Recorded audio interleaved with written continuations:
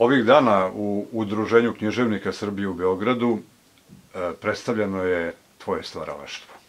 Na ti smo zbog toga što smo dugo godina Kolege. radili kolege i, i danas smo u novinarskim vodama. I evo da kažemo, Kajo, kako je to bilo kada su i ko je sve govorio o tvom stvaralaštvu, a ono što mi je posebno pažnju privuklo jeste da tvoja poezija nije dovoljno iščitana, a da zaslužuje sami vrh srpske poezije.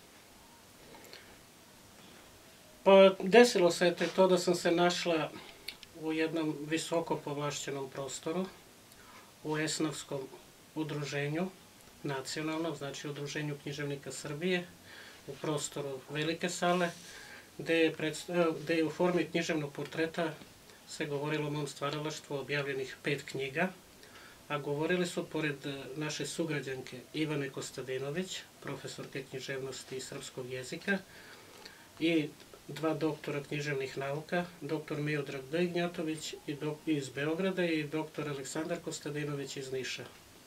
I jedan i drugi su poznati književnoj javnosti i svim onima koji prate tekuću književnu produkciju i kritiku i, i poeziju, prozu koje se objavljuju po listovima i časopisima kao vrlo prisutni, kao ljudi čijoj reči se prilično veruje i doktor Ignjatović je sam doktorirao na tumačenju književnosti, a doktor Aleksandar Kostadinović je već kao student dobijao nagrade za književnu kritiku jer je prepoznat kao daroviti književni kritičar.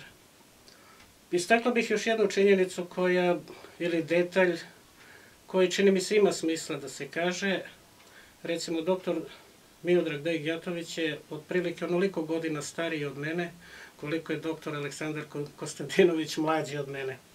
Što znači, ste, u toj vremenskoj dimenziji susrećemo otprilike tri vremena, ja kao aritmetička sredina i moje stvaralaštvo, što je za mene nekakva potvrda van vremenosti ili kvaliteta.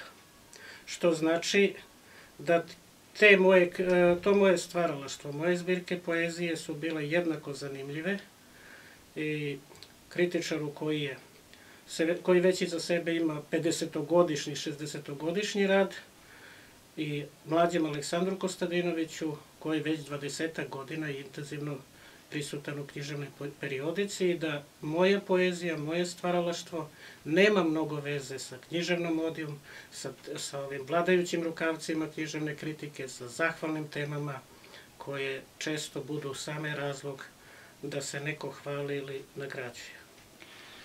E, Mi ćemo nešto kasnije govoriti i o tim početcima.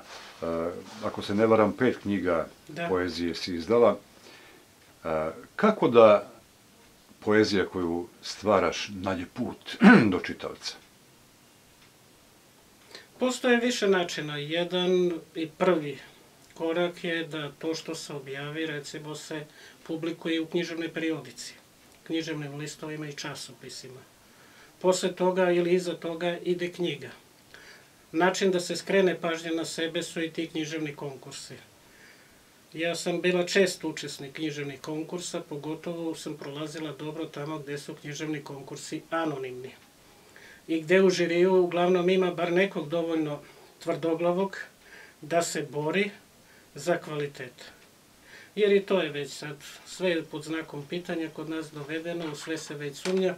Ali uglavnom, kažem, ja sam, eto, knjiga Beskućnik u izlogu koja je najnovija, objavljena prošle godine i još pre 13 godina dobila nagradu na nacionalnom konkursu Dragojlo Dudić, koji je bio anoniman. I specifičnost tog rukopisa bila i taj i te nagrade da je prvi put posle 50 i kusur godina koliko traje taj konkurs, prvi put žena dobila nagradu na tom konkursu i baš ovaj učesnik koji je govorio Miodrag, jedan od učesnika, dr. Miodrag D. Gnjatović, je sam rekao, ka- kaže, ja sam poznao vašu poeziju, otprilike je tako rekao, nisam znao da je to vaše, ali sam se borio za knjigu uh, jer je već bilo odlučeno da neki, nečiji roman dobije nagradu. Uglavnom se uvek proza nagrađivala, nikada poezija, što je, je nekako i uvek, i još uvek je tako, pogotovo u novije vreme, da je poezija u odnosu na prozu skrajnuta. A mnogo je teže pisati dobru poeziju, a mnogo je lako, lako pisati zabavnu prozu koja jednostavno se zove prozom zato što se nižu rečenice, a onaj ko čita ima privid da razume i da to nešto vredi, pa ako je to sa nekakvim biografskim detaljom ličnim povezano, onda se to lako čita, dok poezija traži jedan dodatni napor, ne samo u pisanju, nego i u čitanju i razumevanju. Reci mi, kako se osjeća pisac, pesnik, kada se njegova dela prevode na strane jezike? Da li si ti imala to iskustvo?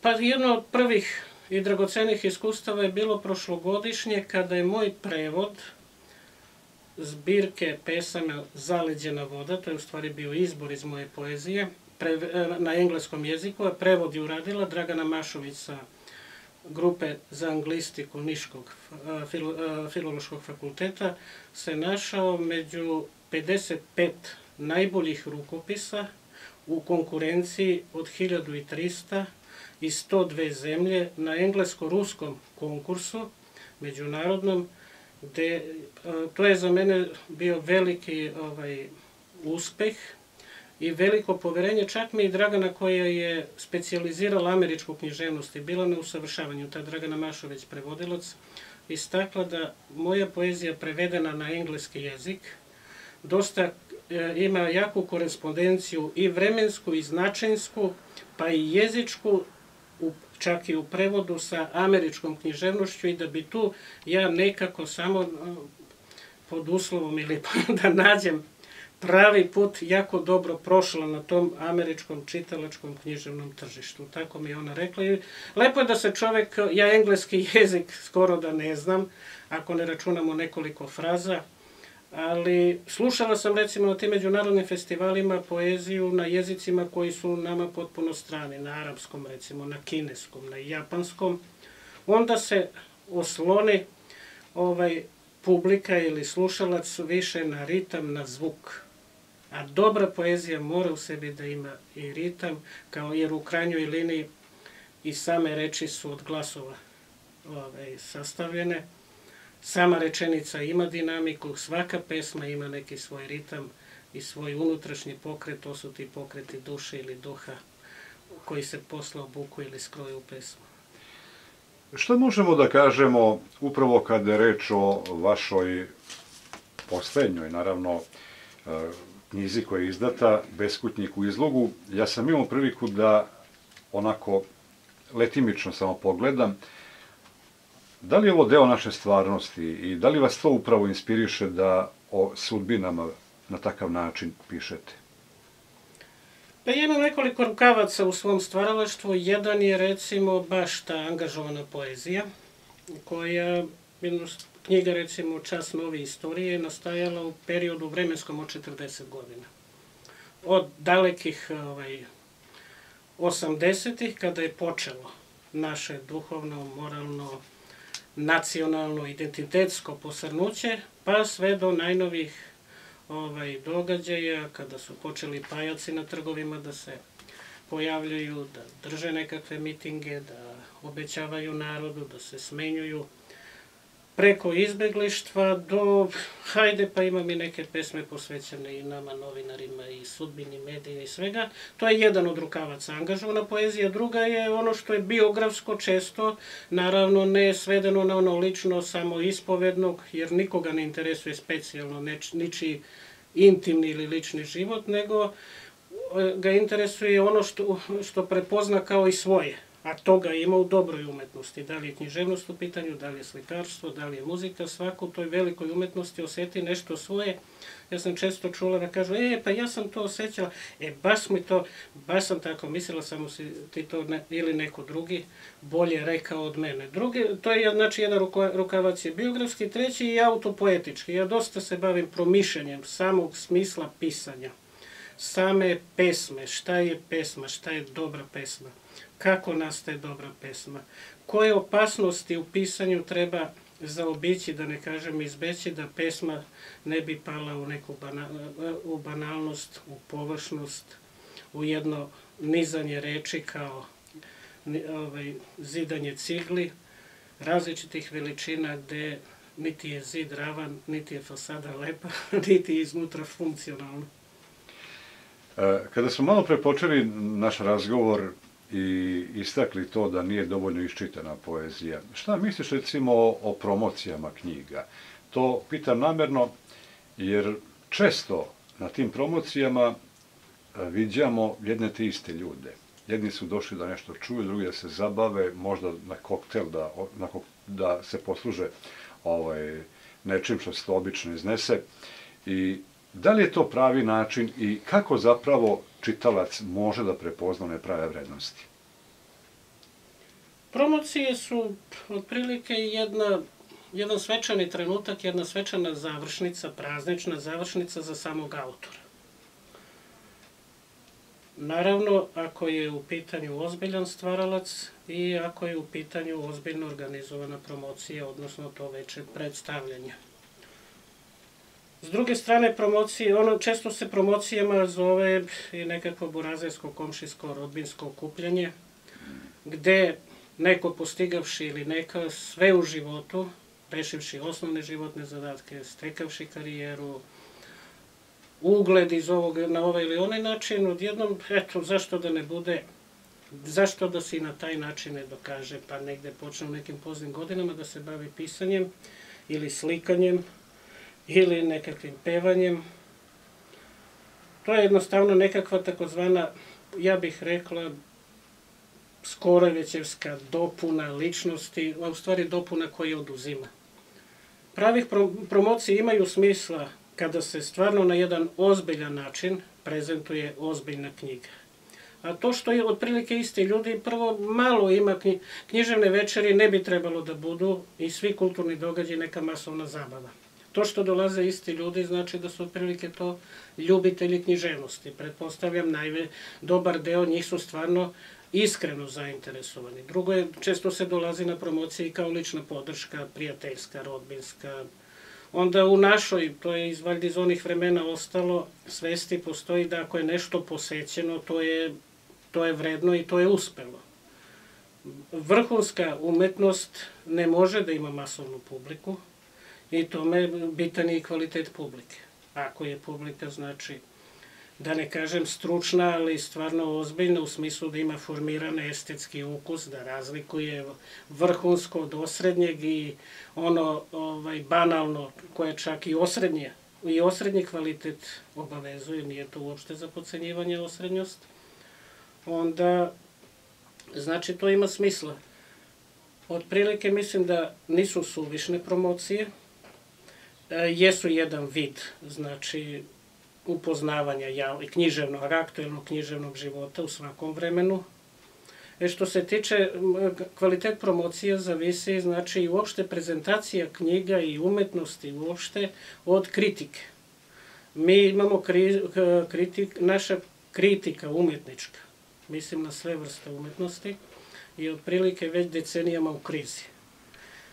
Kritika se svela na tumačenje, a ne na vrednovanje jer kod nas je maltene vrednovanje bilo čega, i to istinsko, istinito, objektivno, pošteno, odavno nestalo iz našeg tog kulturnog života kao i iz drugih segmenta. I onda se ide na to neku burazersko burazersku podršku, nekad se to komercijalizuje stav, nekad se ovaj, prijateljski podržava, ali osnovno je, znači, trebalo bi ta književna kritika da se ovaj, podigne na više nivo i baš je ovaj, gospodin Ignjatović i rekao, kaže, nema više onih kako je nazvao rudara ili ne znam posvećenika književnosti poput Skerlića, koji je bio srećan da otkrije neki zlatovez poezije među novim imenima ili u tekućoj produkciji.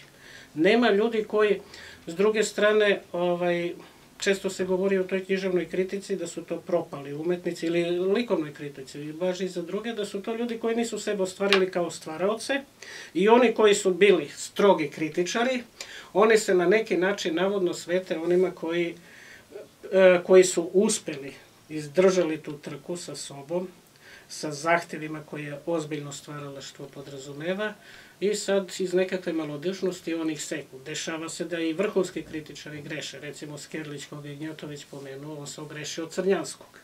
On njega, ni njegovo vrhunsko književno delo, ni poetsko, ni prozno, nije cenio. Ogrešio se o, Isidoru, o Isidori Sekulić. Ali, dobro, to dešavaju se greške svima, ali je mnoge procenio i bar za sada nema boljeg tumača književnosti od njega. Ali prave vrednosti ipak nađu svoj put. Da. Nema, ako je neko stvarno po diktatu unutrašnjem i da ne kažem Božjem ovaj, umetnik, to je takav uh, koncentrat energije koji funkcioniše na više različitih nivoa, pored tog stvaralačkog. Znači, tu je i taj nekakav poriv da se prvo to nekome pokaže, ako je slika, pročita ako je poezija, odsvira ili ne znam šta predoči ako je muzika, i onda od jednog do drugog uvek postoji neka solidarnost, im, pored te sujete koje postoje često među stvaravcima, mislim da pravi stvaravci su čak i solidarni međusobno i ja često tako kad budem na tim festivalima i susretima, kažem, nas je toliko malo pravih posvećenika da bi trebalo bar mi da budemo solidarni i ipak se dobro razumemo. I svet je dovoljno veliki da u njemu ima mesta za svakoga i za mesto koje mu pripada. Dovoljno je samo da jedni drugima ne smetamo, otprilike tako. E dobro, moram da te pitam i to, sada posle e, Beshutnjekovu izlogu, da li možemo očekivati još neku knjigu? Što se tiče poezije, ja već imam tri gotova rukopisa, znači jedan izbor iz ljubavne poezije Samoilovi vojnici, to je gotovo može u štampu. Onda postoji Okrečeni zidovi, to je o, ovaj, angažovana poezija, otprilike predstavlja nastavak časa nove istorije, ali vezano za novije vreme. Jedna potpuno drugačija zbirka od svih dosadašnjih u dva koraka, koja je nastala tako možda za mesec dana, neobične forme, kratkih pesama, dinamična, u dva koraka. Znači, to su neke brze, kratke pesme, redko koje je duže od, od tri strofe. Mnogi su hvalili taj rukopis. Za sada to stoji. Pokušavam da ponovo se nekako preko nekog konkursa možda to pobedi na nekom konkursu gde je nagrada objavljivanje, pa da tako ne žurim. A ono što trenutno mnogo intenzivnije radim, to je, eto, baš iz naše branše, od koje živimo, to je priprema knjige intervjua, izabranih intervjua mojih, znači novinarskih intervjua od, u periodu od kad radim kao profesionalni novinar, od 1990. do 2018. Biće to jedna knjiga od 30 intervjua i bit će zanimljiva. Nadam se već sam nekim tako ljudima koji u čije mišljenje verujem i do čijeg mišljenja mi je stalo e, i koji nisu tu samo da hvale, nego i da eventualno nekim sugestijama ili zamerkama ukažu da eventualne propuste. Nekakav dobar odjek čujem i mislim da će to biti zanimljiva knjiga i nadam se da će ona pre ovih knjiga poezije ove godine da se pojavi možda baš u izdanju Narodne biblioteke Pirot. Ona je konkurisala za ova sredstva gradske uprave za kulturu, pa vidjet ćemo. Nadam se, već imam ovaj recenzent, predata je recenzentima, radi se lektura, bit će to knjiga od nekih možda 200 stranica.